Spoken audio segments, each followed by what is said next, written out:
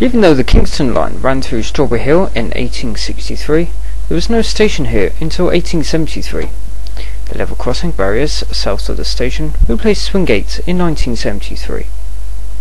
Along the route to this station, the service has been advertised to terminate here, but in actual fact the service terminates at Waterloo. This is to avoid confusion, especially at Waterloo. Imagine the confusion at the terminal, with the service advertised to Waterloo. The blinds now set Waterloo via Richmond, Route 21. Strawberry Hill Town was once featured in the TV show Restoration, which focused on the 18th century mansion once home to Horace Walpole in 1747.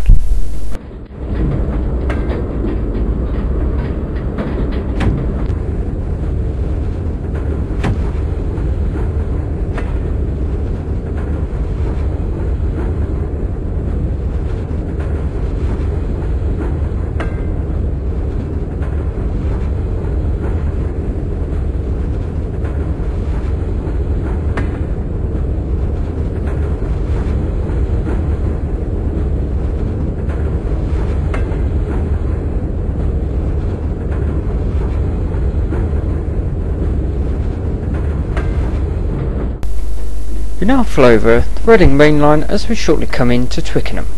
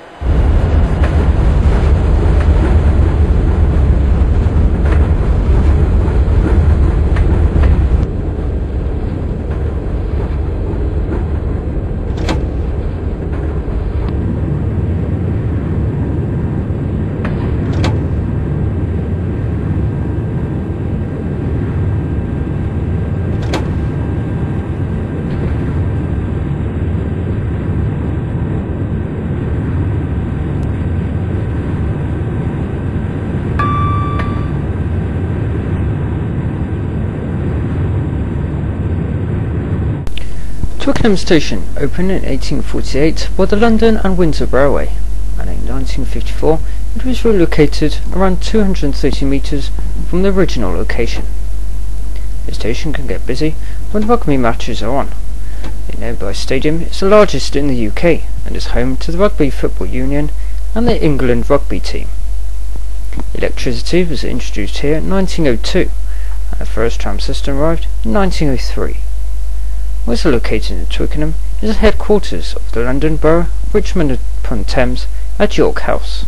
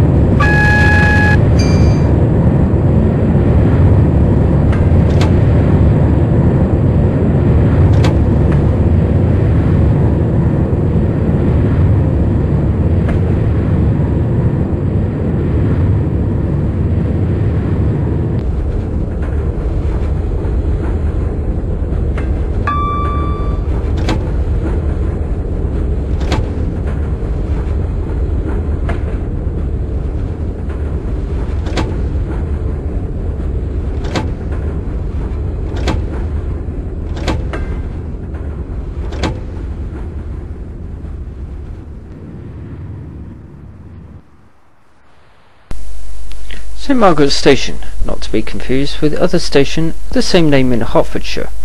It is located in Travelcard Zone 4 and is served by both Kingston and Hounslow Loop services.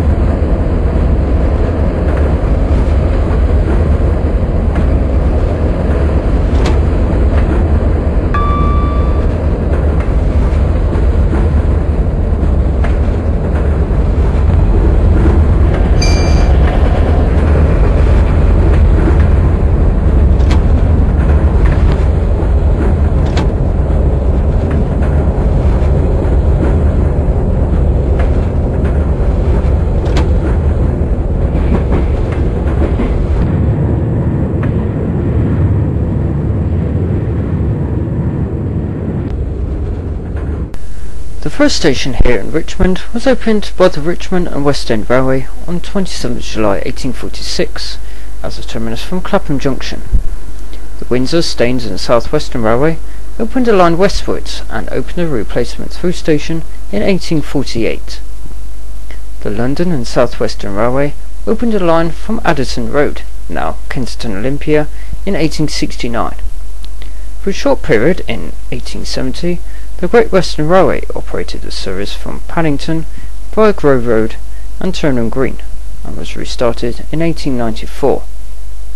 Seven years later, the Metropolitan District Railway, now the London Underground District Line, ran services over the London and South Western tracks to Richmond, sharing the same tracks to Gunnersbury in between North London Railway services, and still to this day with the District Line services sharing tracks with the London Overground trains to Stratford.